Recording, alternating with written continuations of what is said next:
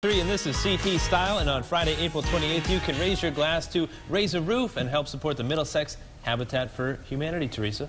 Ryan, we have Sarah Bird, who is the executive director. She's here joined by Art Lapuma, the general manager of Seaside Wine and Spirits. Thank you for being here. Yeah, Thank Thank you for having us. Sarah, tell us a little bit about uh, Middlesex Habitat for Humanity. Uh, Middlesex Habitat for Humanity has been around since 1996. We have built 13 homes in Middlesex County. We built two homes in a box that were sent down to Alabama after Hurricane Katrina. Wow. And we have seven amazing projects coming up over the next five years. And this is one of the homes that you guys did over the summer. We stopped by Yeah. with Charlotte Smith, who's going to be on our show tomorrow. She's a DIY expert, and you guys totally uh, did this house soup to nut. Absolutely, yeah. That was a ground up build. We have um, an- a renovation that we're working on next. And Charlotte had come in with her Blogger's Heart Habitat and did a room, and every blogger took a room and did a room and decorated it. It Oh, was it an must have amazing turned out experience. great. It was beautiful, yeah. How fun. And then also you have the Restore in Cromwell. Yep, we have our Restore in Cromwell. It's open to the public. Um, we take in new and used building materials, doors, windows, appliances, furniture. It's a great place, great prices. Um, and we're, so we're building, we renovate homes, we have our Restore, and then we have this great event coming up. Awesome. Yeah, Yeah. Let, us talk about that because let's let's address the elephant in the room here. All the nice, uh, And it's all you know, Connecticut. wines and Yeah. spirits. Yes, absolutely. We got some great wineries. Uh, we have Sharpe Hill. We have Sunset Hill, which is very new to the state. We have Stonington, um, Jonathan Edwards.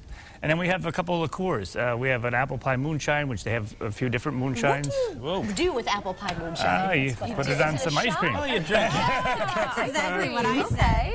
Okay. Uh, Wild Moon is uh, they have some real fun liqueurs, and for the beer we have uh, Thimble Island from uh, locally from Branford. good stuff. And uh, Two Roads just from uh, uh, Sh- uh, Two roads. Two Roads, right? Stratford, Sh- Stratford, yeah, yes. yes, Yep. yeah. Wow. So uh, this, this is going to be a big event. Uh, tell us what people can expect and how they can get tickets and whatnot. All right, so it's um, the event is on April 28th. It is at the Westbrooks Elk Lodge. So we it's featuring all local breweries, wineries, distilleries.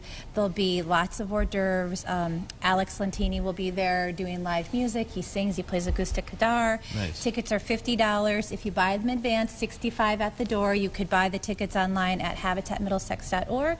Check us out on Facebook. Um, there's a link there to get your tickets. And all the proceeds go to Habitat for Humanity Yep. here in, in Absolutely. Middlesex County. Um, that's one of the reasons why we wanted to go with all local Yeah. Places is because we build locally, so we should That be makes featuring sense. local, Yeah. right? All Yeah, about the local. Yeah, Are you looking for volunteers?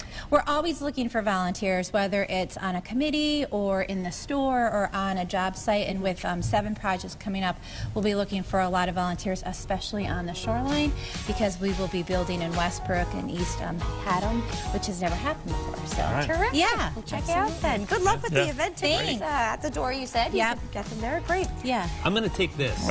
You guys- There you go. Okay, apple I'm coming with you. Absolutely. Hey, thanks for watching, Have a guys. great day.